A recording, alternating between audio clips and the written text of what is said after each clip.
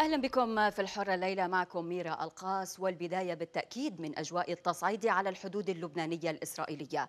إذ قال الجيش الإسرائيلي إنه أحبط محاولة تسلل لخلية إرهابية تعود لحزب الله إلى أراضيه عبر الحدود الشمالية مع لبنان.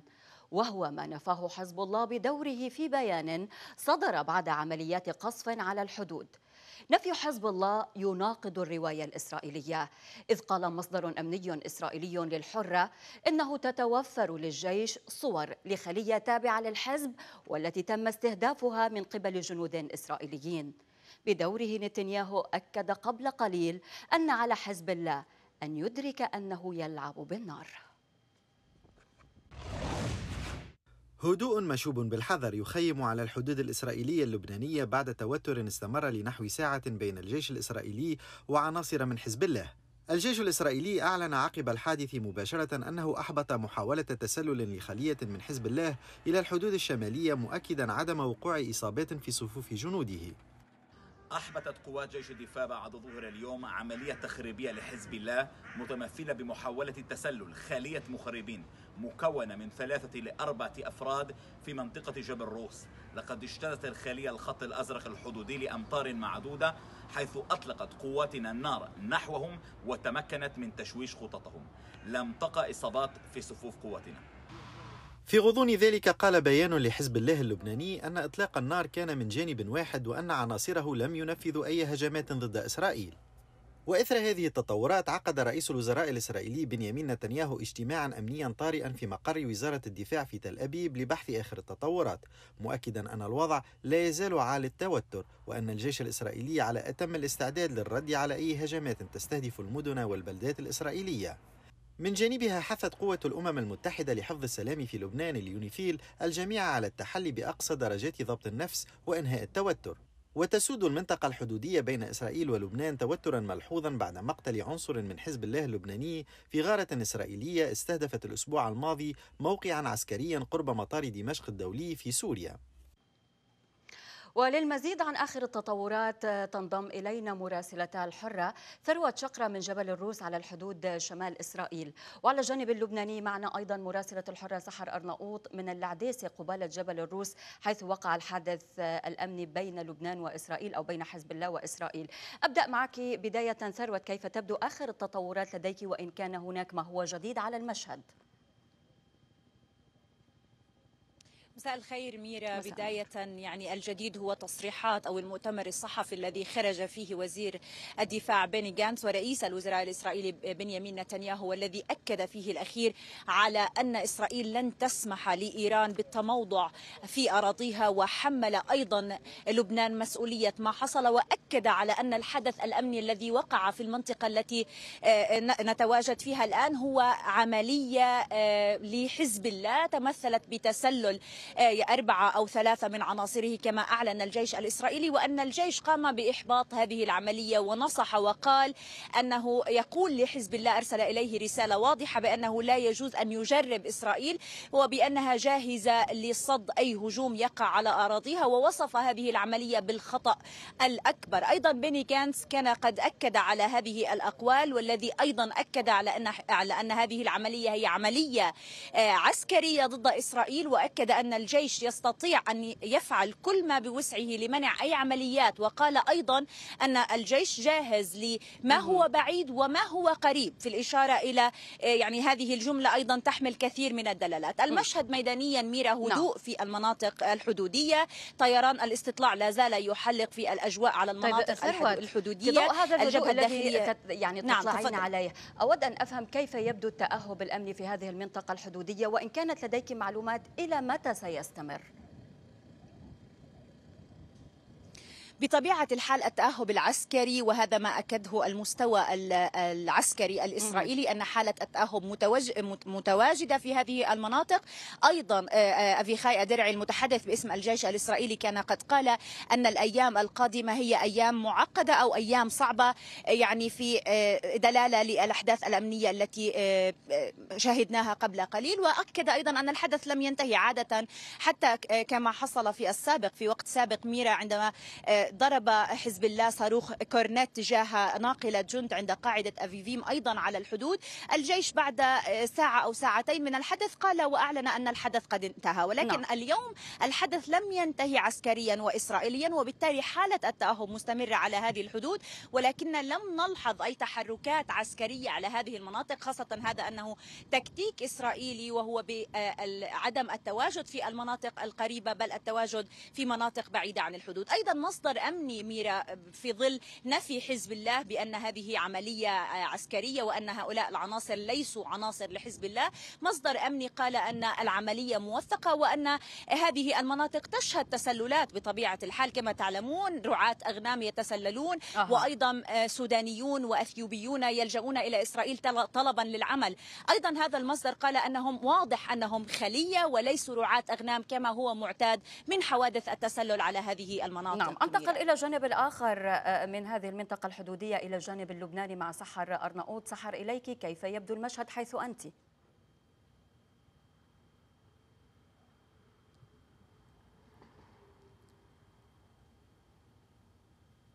نعم ميرا يعني المشهد آه، آه، لا يزال يشهد هدوءا نسبيا في هذه المنطقة الحدودية علما أن الحرائق لا تزال آه، مشتعلة في الأحراج في تلال كفرشوبة حيث سقطت سقط عدد من القذائف أطلقها الجيش الإسرائيلي على خلفية الاشتباكات التي دارت بعد ظهر اليوم بين عناصر من حزب الله وبين القوات الإسرائيلية في موقع جبل جبل الروس. هذه الحرائق طبعا كما آه، تشاهدون إذا كانت كاميرا الحرة قادرة على آه، يعني التقاط الصور آه، في في ساعة ساعة أه. الليل هذه. نستطيع أن نتابع هذه الصور ولكنها اليونيفيل لا تزال تجري تحقيقاتها حول حقيقة ما حصل هذا ما صرح به المتحدث.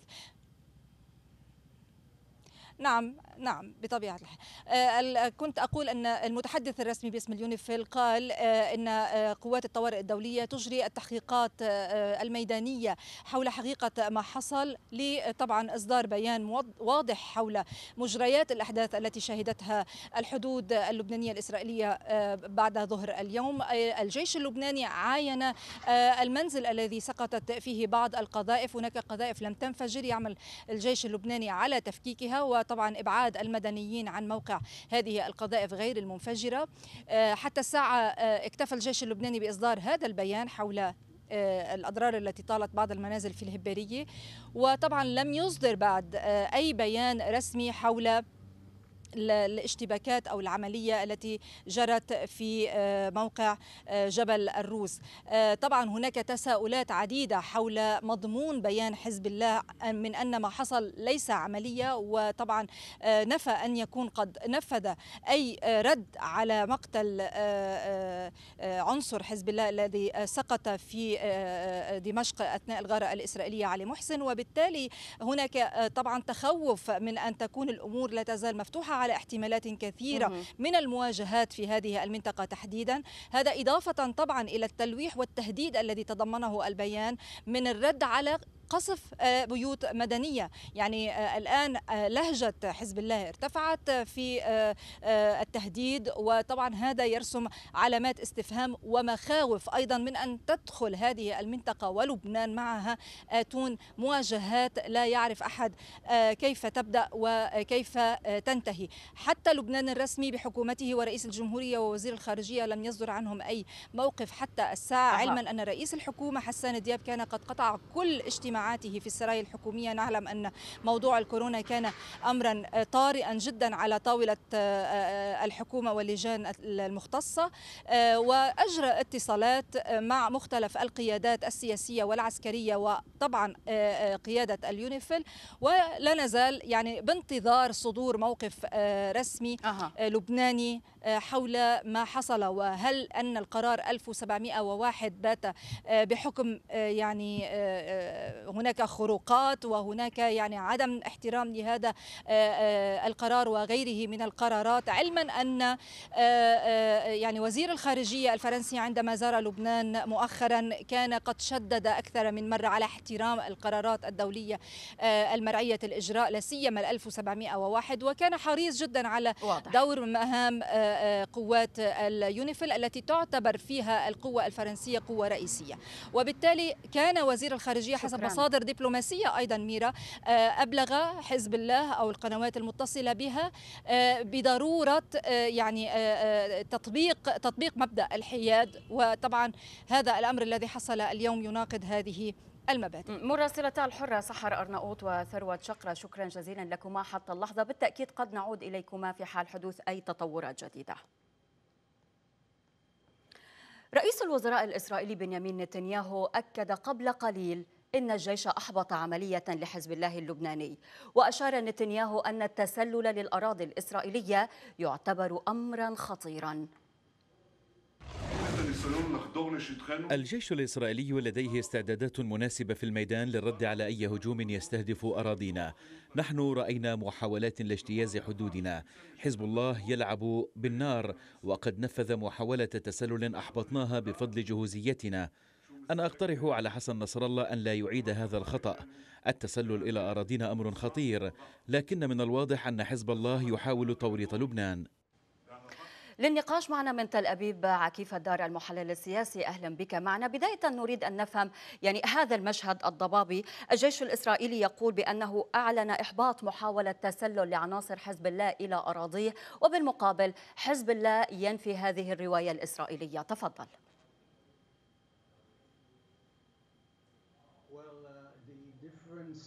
الفرق بين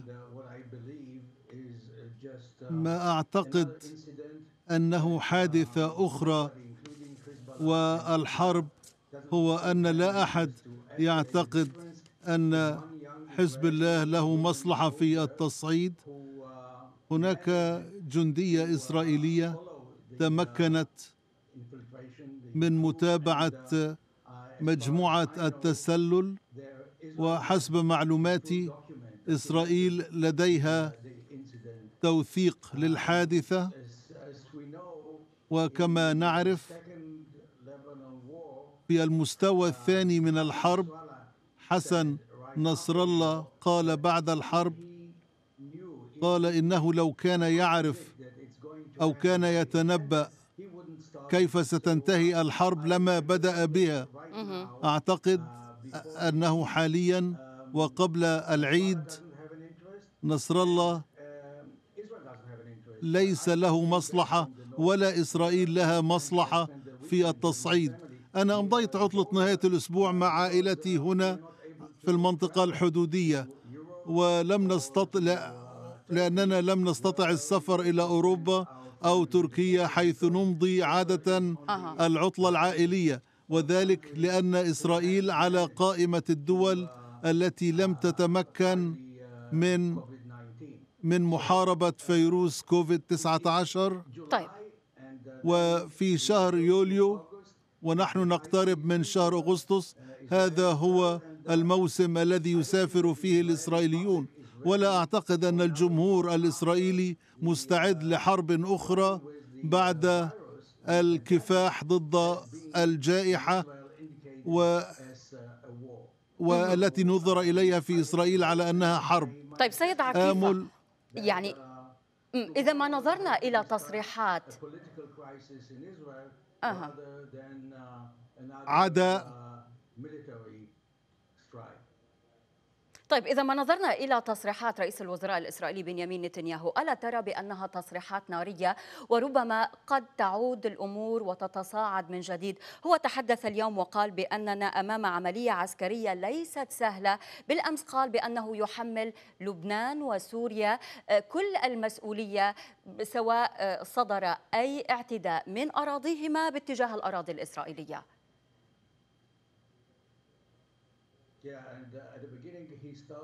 في البداية هو لم يفقد الفرصة لتوجيه أصابع الاتهام لإيران. عدوه المفضل. وأعتقد أن المشكلة أو الطريقة التي يرى فيها نتنياهو المشكلة هي أننا نتحدث الآن عن إسرائيل وحزب الله ولبنان. ويبدو كأننا متساوين. إسرائيل دائما نظرت إلى حزب الله. وانظري على الأخبار في إسرائيل. حزب الله لا ينظر إليه على أنه حزب سياسي وإنما منظمة إرهابية. وبالنسبة لإسرائيل أن يكون لديها نزاع سياسي أو حتى عسكري مع منظمة إرهابية هذا إذلال لإسرائيل. ونتنياهو يواجه الإذلال في كل يوم في المظاهرات التي تحيط ببيته في القدس. هو في الواقع لديه أجندة وهو في قمة الهيكل العسكري. وسنرى عدد الإسرائيليين الذين لن يغيروا خططهم لتمضية عطلة يوليو مع أطفالهم في الشمال. طب إذا كان يعني كلا الطرفين لا يريدان التصعيد وهذا التصعيد لا يصب في مصلحة أي من الطرفين وبالتالي يعني هذا التوتر وهذه التحركات العسكرية التي تابعناها اليوم في أي إطار من الممكن أن تصنف؟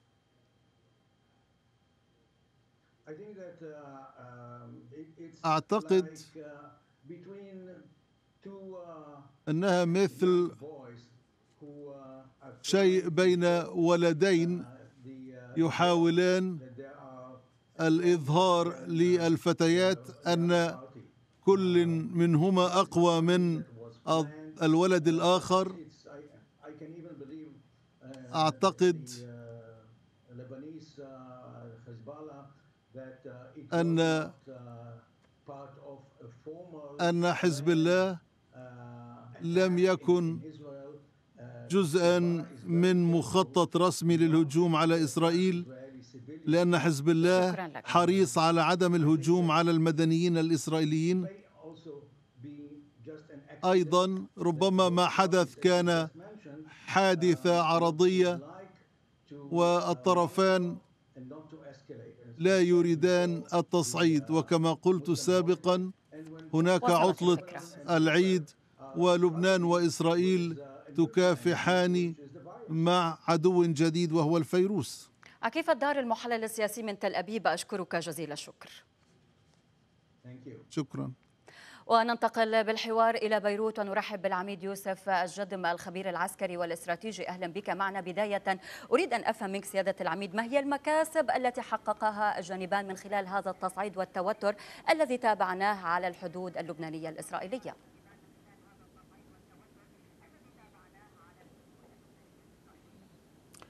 حتى الآن لم يحقق أي جانب أي مكسب. لأنه حزب الله نفى أن يكون قام بأي عملية. وإسرائيل أكدت أنه هالعملية حصلت عملية تسلل. أه. بكل الحالات العملية حتى لو حصلت هي عملية هامشية منا منا مؤثرة ولا شيء. وحتى قالوا أنه حتى لو كانت فعلا حصلت قال دخلوا بضعة أمتار. هذا تهديد استراتيجي لأمن إسرائيل مثل ما حصل بتموز 2006 لما حزب الله اجتاز الحدود واسر جنود إسرائيليين وقتل منهم وجرح منهم وجابهم على لبنان، هونيك كانت مسألة خطيرة لكن هلأ حتى لو حصلت فعلا منا خطيرة وما أه. بتشكل اي أي شيء مهم طيب. والمعلق الإسرائيلي أنا بأيده معه حق معه حق إنه أكيد ما حدا عنده مصلحة للبنان لا حزب الله أه. آه ما فيني احكي عن لبنان بحكي عن حزب الله وعن إسرائيل اثنيناتهم ما لهم مصلحة بتصعيد الوضع بالوقت الحاضر. طيب هل نفهم مما تابعناه اليوم بانه الوضع وحزب الله إيه العملية ممكن تكون فعلا حصلت. هل نفهم مما تابعناه اليوم بأنه نوع من الاستعراض بالنسبة لحزب الله العملية نوع من الاستعراض يعني من قبل الطرفين سواء كان من قبل إسرائيل أو من قبل حزب الله.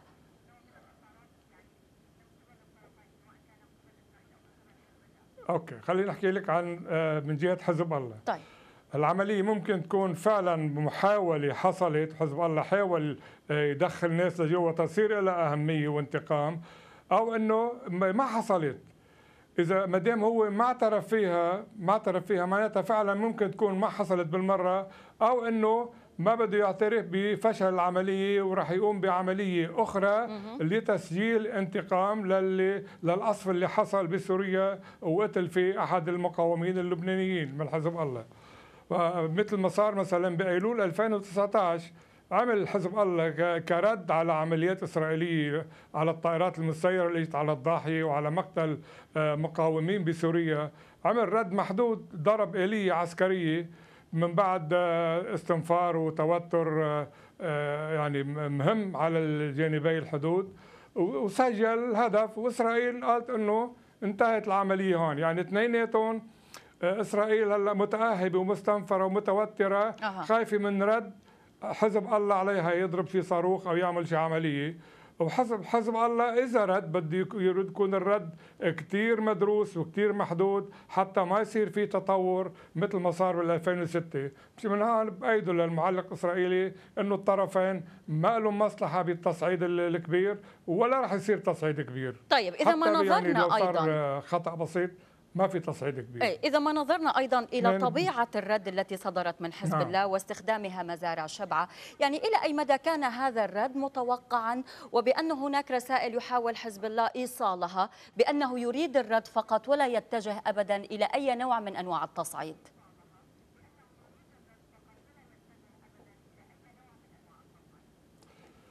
حزب الله آه، من من 2019 رد على العمليات الإسرائيلية اللي عم بتصير على مواقع حزب الله ومواقع إيرانية بسوريا. بأحد خطاباته السيد حسن نصر الله قال من يوم رايح أي مقاتل أي مقاوم مجاهد آه، من حزب الله بيقتل بسوريا راح نرد من لبنان. يعني حدد إنه ما برد. الرد مش راح يكون من سوريا راح يكون الرد من لبنان لأنه بيعتبر الرد من لبنان على إسرائيل.